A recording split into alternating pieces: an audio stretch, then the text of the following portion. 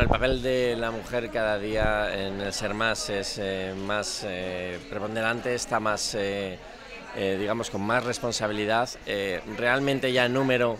las mujeres están por encima de, los hombres, pero se van incorporando a los puestos de gestión, a los puestos de dirección de forma paulatina, pero cada día siendo más. El papel está claro, que es eh, buscar, eh, como no puede ser de otra manera, pues lo mejor para la sanidad madrileña y dentro de, ese objetivo que es eh, hacer una sanidad de mayor calidad